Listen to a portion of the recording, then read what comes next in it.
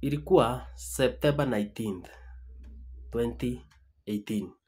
Sisi wote tulikuwa tumekaa kwa news tukisikiza news na hii mambo ikafanyika. We are investigating the murder of a businesswoman found dead at a rented apartment Wakati ilifanyika, dunia yote ilistuka, especially Kenyans tulistuka kusikia huyu mwanamke ndiye ameuliwa.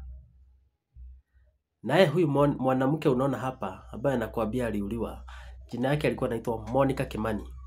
Monica Kimani alikuwa business lady ambaye alikuwa anafanya biashara Sudan and other places, so alikuwa very successful business lady. Na after few investigation from the police watu wakaanza kushikwa. Na mtu wa kwanza kushikwa alikuwa huyu. Naye huyu mwanaume anaitwa Jowi Jowi ndiye alikuwa wa kwanza kushikwa akihusika na mada ya huyu Monica Kimani then after few days huyu mwenye alisoma hii news akiwa huko Citizen TV at her prime, jina yake ilikuwa inaitwa Jack Maribe, na yeye akashikwa. Pia mwingine ambaye alikuwa anaitwa, kulikuwa na mwingine ambaye sitamleta hapa, lakini hata yeye alishikwa.